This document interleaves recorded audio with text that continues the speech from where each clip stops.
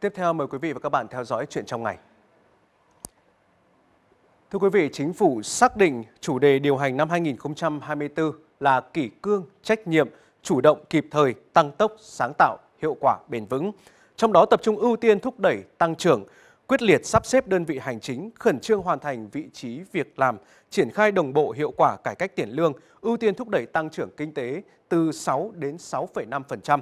Đây là thông tin tại hội nghị tổng kết công tác năm 2023 và triển khai nhiệm vụ năm 2024 của Chính phủ và chính quyền địa phương diễn ra vào sáng nay do Thủ tướng Phạm Minh Chính chủ trì. Tới dự còn có Chủ tịch nước Võ Văn Thưởng, Chủ tịch Quốc hội Vương Đình Huệ, Thường trực Ban Bí thư Trương Thị Mai.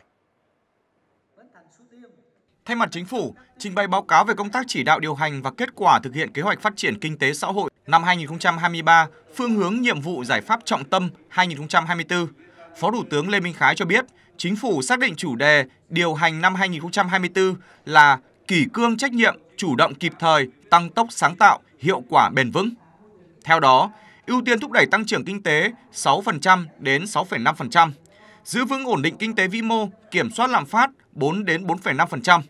bảo đảm các cân đối lớn, tỷ lệ giải ngân vốn đầu tư công đạt trên 95% kế hoạch, cắt giảm chi thường xuyên 5%,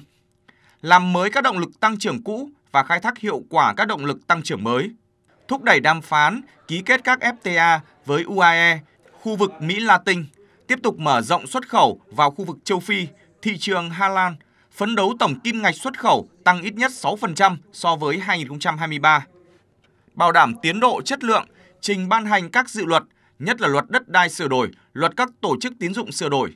Khẩn trương hoàn thành xây dựng vị trí việc làm, triển khai đồng bộ, hiệu quả cải cách chính sách tiền lương theo nghị quyết số 27 của Trung ương từ ngày 1 tháng 7 2024.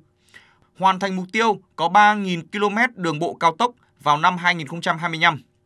Triển khai quyết liệt, hiệu quả đề án xây dựng ít nhất 1 triệu căn hộ nhà ở xã hội. Năm 2024 hoàn thành tối thiểu 130.000 căn. Tăng cường ứng dụng khoa học công nghệ, thúc đẩy đổi mới sáng tạo, chuyển đổi số, chuyển đổi xanh, tập trung cắt giảm, đơn giản hóa thủ tục hành chính, cải thiện môi trường đầu tư kinh doanh, tiết giảm chi phí cho người dân, doanh nghiệp. Đẩy mạnh ngoại giao kinh tế, phục vụ cơ cấu lại nền kinh tế, thu hút đầu tư nước ngoài chất lượng cao, nhất là các lĩnh vực mới mang tính đột phá.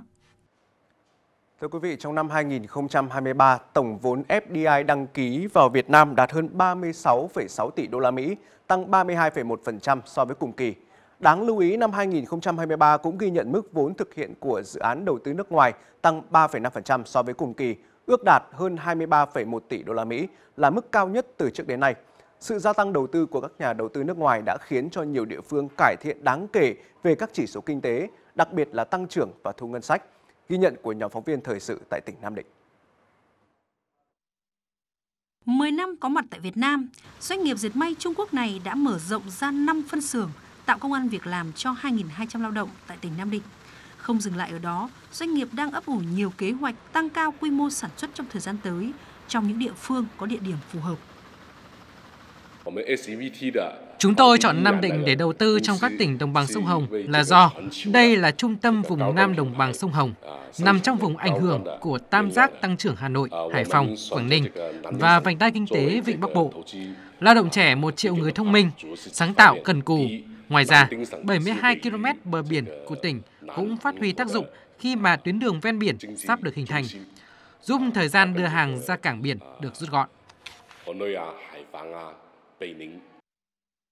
Nam Định là cái nôi của dệt may, dễ hiểu tại sao dễ thu hút các nhà đầu tư trong lĩnh vực này. Tuy nhiên, năm 2023, các lĩnh vực xúc tiến đầu tư đã được tỉnh mở rộng sang công nghệ, máy tính, lĩnh vực tạo ra giá trị gia tăng cao. Kết thúc năm, địa phương này đã thu hút được 300 triệu đô la Mỹ vốn đầu tư trực tiếp nước ngoài, bằng 30% con số mà địa phương này thu hút được trong vòng 19 năm qua.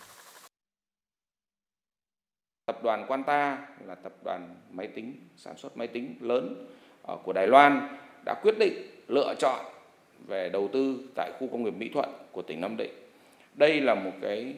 mốc về việc thu hút các cái dự án có công nghệ cao, sử dụng công nghệ cao tạo giá trị gia tăng lớn, thân thiện môi trường theo đúng cái chủ trương mục tiêu của tỉnh đã đề ra. Để hoàn thiện việc thu hút, ngoài xúc tiến đầu tư, cơ sở hạ tầng là ưu tiên của địa phương. Năm 2023, toàn tỉnh hoàn thiện hệ thống đường cao tốc nối cầu rẽ Ninh Bình với huyện Nghĩa Hưng. Ngoài ra, tỉnh cùng với tỉnh Thái Bình tập trung giải phóng mặt bằng triển khai đường ven biển từ Nam Định, Thái Bình tới Hải Phòng. Điều này sẽ tạo lợi thế trong thu hút đầu tư trực tiếp nước ngoài thời gian tới.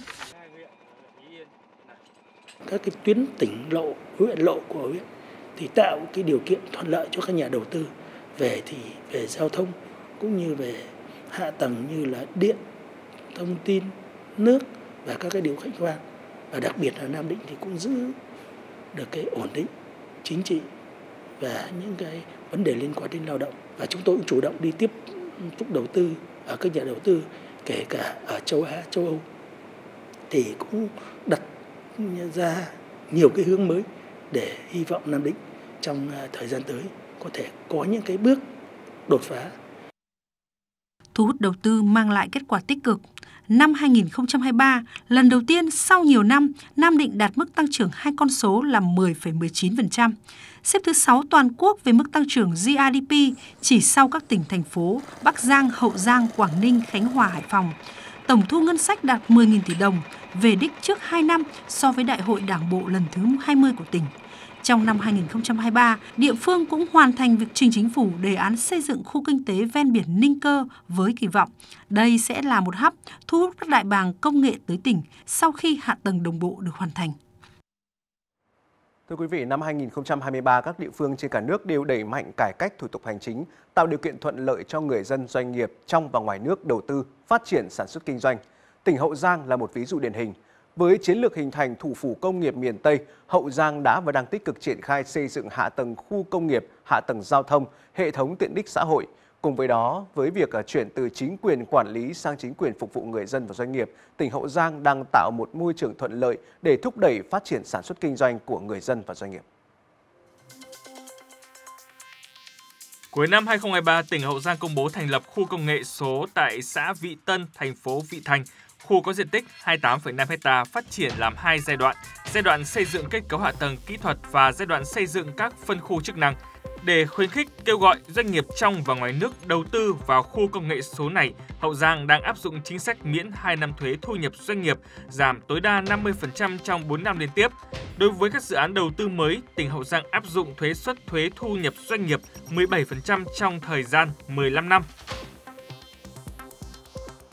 Đây là cơ hội vàng cho chính quyền Hậu Giang tạo điều kiện thu hút doanh nghiệp công nghệ thông tin của Việt Nam và các nhà đầu tư nước ngoài. Để hỗ trợ doanh nghiệp trong và ngoài nước đến đăng ký làm thủ tục, tỉnh Hậu Giang đã thành lập Ban chỉ đạo xúc tiến và hỗ trợ đầu tư. Nhờ đó, 50% thủ tục hành chính đã được cắt giảm, thời gian làm thủ tục giảm xuống chỉ còn một tuần. Làm một bước một là khi tiếp nhận các nhà đầu tư, thủ tục của các nhà đầu tư, đề xuất của các nhà đầu tư thì sở kế hoạch sẽ chủ trì gửi cái hồ sơ đó đến các ngành có liên quan và sau một tuần lễ là chúng tôi sẽ họp cái ban và giải quyết luôn. Cam kết từ lãnh đạo tỉnh Hậu Giang được minh chứng bằng những kết quả đạt được. Trong năm 2022, chỉ số đánh giá năng lực cạnh tranh cấp tỉnh PCI của Hậu Giang tăng 26 bậc, vươn lên đứng hạng 3 của khu vực đồng bằng sông Cửu Long và hạng 12 trên 63 tỉnh thành cả nước. Hậu Giang nằm trong nhóm điều hành kinh tế tốt của cả nước – Kết thúc năm 2023, tốc độ tăng trưởng kinh tế tiếp tục duy trì ở mức cao, đạt 12,27%, tiếp tục dẫn đầu khu vực đồng bằng sông Cửu Long và xếp thứ hai cả nước. Những số liệu uh, kinh tế xã hội thì cho thấy rằng Hậu Giang phát triển rất là đồng đều. Trong cái tỷ trọng tăng trưởng cao thì chúng ta phải kể đến là có sự đầu tư lớn, thu hút đầu tư lớn về cái phát triển về ngành công nghiệp. Nổi bật nhất là cái nhà máy nhiệt điện đưa vào hoạt động đã giúp cho cái tăng trưởng của ngành điện ờ, và ngành công nghiệp tăng lên rất cao. Và đặc biệt, tỉnh Hậu Giang là tỉnh tham gia vào câu lạc bộ, gọi là, chúng tôi gọi là câu lạc bộ, những tỉnh mà có cái xuất khẩu trên 1 tỷ đô la. Thực hiện cái tốt cái mô hình chính quyền điện tử ờ, chuyển chính quyền quản lý sang chính quyền phục vụ người dân và doanh nghiệp. Tỉnh cam kết đồng hành với doanh nghiệp trong suốt thời gian ờ, là vận hành, cũng như là thời gian đầu tư rồi là thời gian khai thác dự án tại tỉnh Hậu Giang. Đảng bộ và chính quyền tỉnh Hậu Giang xác định năm 2024 sẽ về đích cơ bản các chỉ tiêu trọng yếu cũng là năm chuẩn bị đại hội đảng các cấp, chuẩn bị nền tảng cho nhiệm kỳ mới 2025-2030. Dự kiến đến năm 2028, Hậu Giang sẽ tự cân đối ngân sách. Quyết tâm tháo gỡ khó khăn, vượt qua mọi thách thức trong các lĩnh vực, không nói không, không nói khó, không nói có mà không làm. Quyết tâm bảo vệ cán bộ dám nghĩ, dám làm vì lợi ích chung, quyết tâm tháo gỡ khó khăn, thúc đẩy sản xuất kinh doanh, đảm bảo người dân, doanh nghiệp được hưởng các chế độ chính sách và thành quả mang lại. Đây là chỉ đạo của Thủ tướng Phạm Minh Chính đối với các bộ ngành địa phương nhằm quyết liệt hoàn thiện nhiệm vụ của năm 2024. Kết luận hội nghị tổng kết công tác năm 2023 và triển khai nhiệm vụ năm 2024 của Chính phủ và chính quyền địa phương, Thủ tướng Phạm Minh Chính giao Bộ Kế hoạch và Đầu tư, Văn phòng Chính phủ tiếp thu đầy đủ, hoàn chỉnh các báo cáo và dự thảo nghị quyết 0102 của Chính phủ để trình ban hành và triển khai hiệu quả. Thủ tướng cho biết, hội nghị đánh giá năm 2023 kinh tế phục hồi và tăng trưởng, quy mô nền kinh tế được nâng lên, thu nhập bình quân đầu người cao hơn năm 2022, an ninh quốc phòng được bảo đảm, ổn định chính trị, trật tự an toàn xã hội được giữ vững, an sinh xã hội được quan tâm và đầu tư rất lớn, đạt tất cả các chỉ tiêu về xã hội. Thì nguyên nhân đạt được, thứ nhất là có sự lãnh đạo của Ban chấp hành Trung ương mà thường xuyên trực tiếp là Bộ Chính trị, Ban Bí thư mà đứng đầu là đồng chí Tổng Bí thư luôn luôn quan tâm lãnh đạo chỉ đạo và chăn trở với chúng ta. Cái thứ hai là có sự nỗ lực của cả hệ thống chính trị. Và cái thứ ba là có sự phối hợp chặt chẽ nhịp nhàng hiệu quả giữa quốc hội và chính phủ giữa chính quyền các cấp và hội đồng nhân dân các cấp thủ tướng nêu rõ chúng ta khẳng định kết quả đạt được là cơ bản nhưng không được chủ quan thỏa mãn nước ta vẫn còn nhiều tồn tại, hạn chế và khó khăn thách thức.